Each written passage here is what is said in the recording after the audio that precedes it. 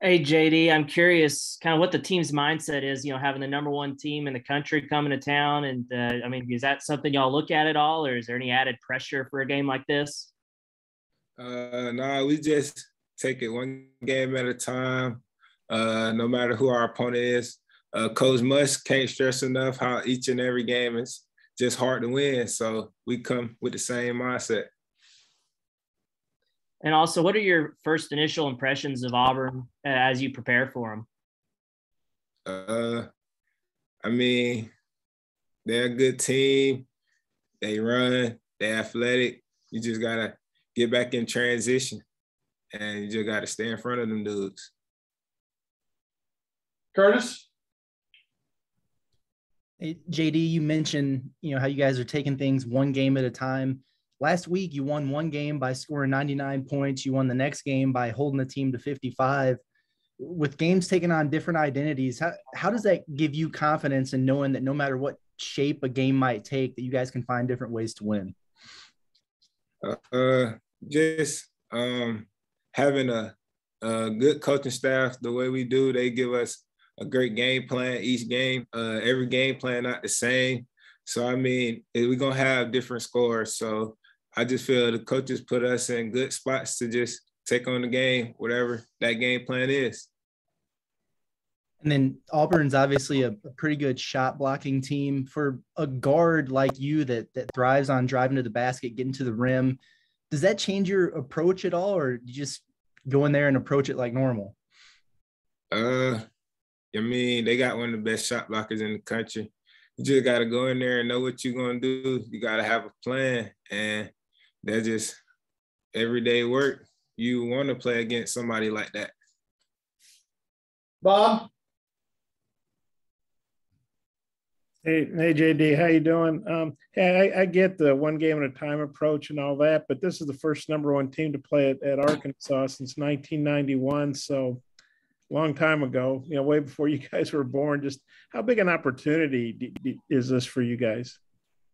Uh, this is a huge opportunity just to uh, beat the number one team in the country, no matter what level it is, uh, no matter where you at. I mean, that's something that you want to do. So that's just another opportunity for us to just go out there and just uh, do do another great thing. And I guess when you when you watch Auburn, what, what impresses you the most about them? They obviously did do a lot of things well. They've won 19 in a row. I mean, uh, I don't watch them that much, so I can tell you, but like, I mean, they just they look like they're having fun out there. So I mean, that's just one thing I could say about them. They look like they have fun.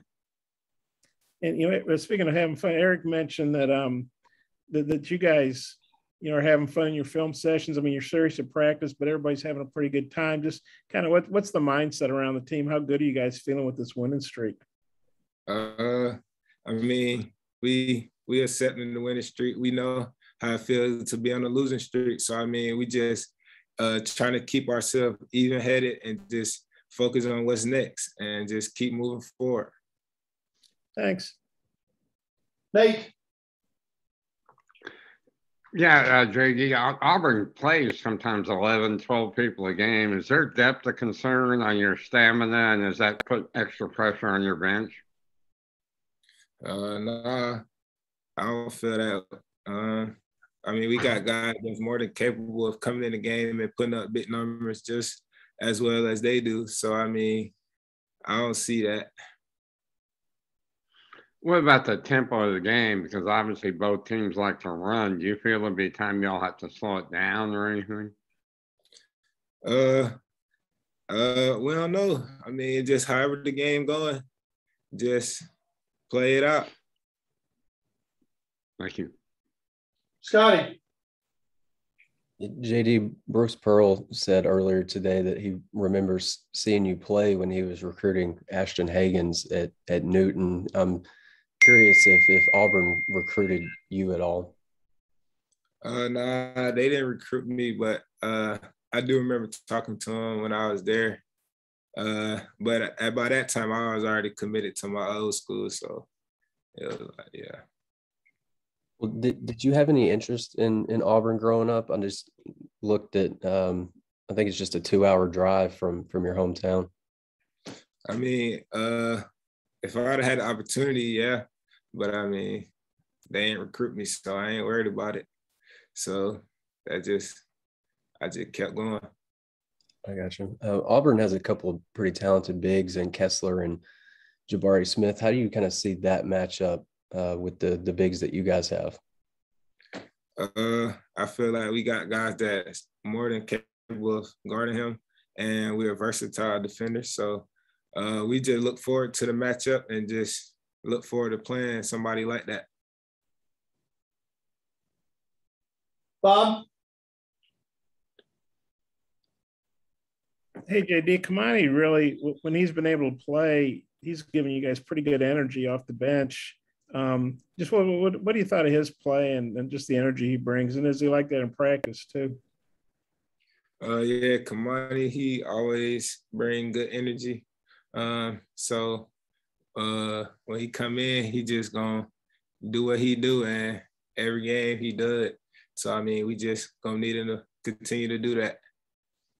You know, this is something Bruce Pearl mentioned today. I mean, you guys go into Georgia and it's close first half, then you blow their doors off. In second half, Auburn goes in there and barely wins by two. Do you even so you know back to back games? You obviously played at Georgia a lot better than they did, early score wise. Did you even look at that, or what, what do you think about that? Uh, I mean that that ain't something that uh we think about. Um, I mean they did have a pretty good game with Georgia, but they're just different games, different game plans, and it's college basketball. Every game gonna be hard to win, so we understand that. Okay, thanks. Yes, sir. all right, JD, appreciate your time. Thanks. Yes, sir.